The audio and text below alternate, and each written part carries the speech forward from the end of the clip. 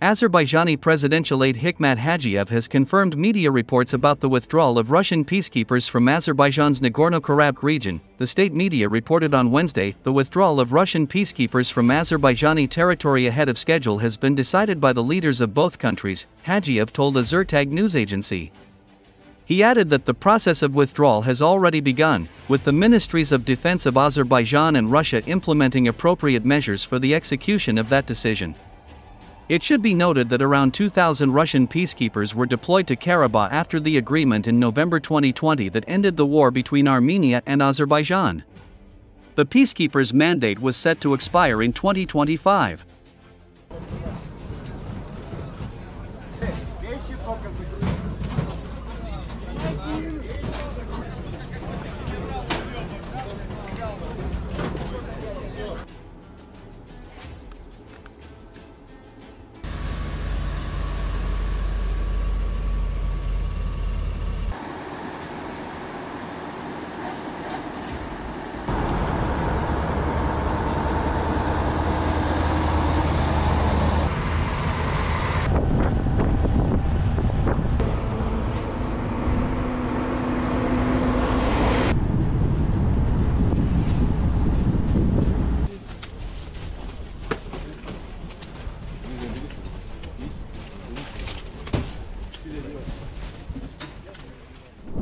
Ukrainian general named the reason why Ukraine does not declare war on Russia. Ukraine will not declare war on Russia because it is not profitable for it. As ex-deputy chief of the General Staff of the Armed Forces of Ukraine, Igor Romanenko explained, Kiev is afraid of losing Western help.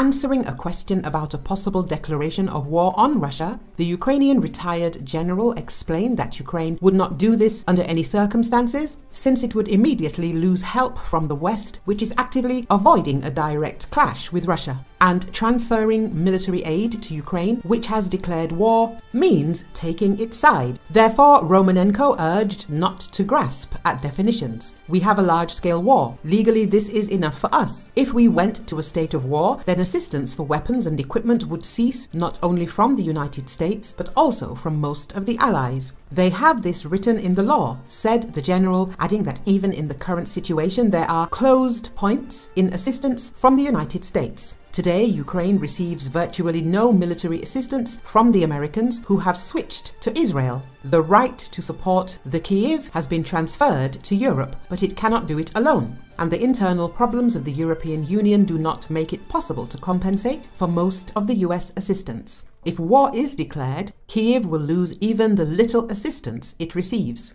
Recall US Senate Majority Leader, Democrat Chuck Schumer, said that a consensus was reached that Congress could act quickly to send aid to both Israel and Ukraine. As reported by ABC News, Schumer expressed hope at a press conference in New York that something could be done this week to help both countries. He noted that the best way to send aid to Israel and Ukraine is for the House of Representatives to pass the Senate approved National Security Supplemental Act, which includes aid to both countries. The Senate passed the 95 billion US dollar package in February, but House Speaker Mike Johnson did not bring it to a vote.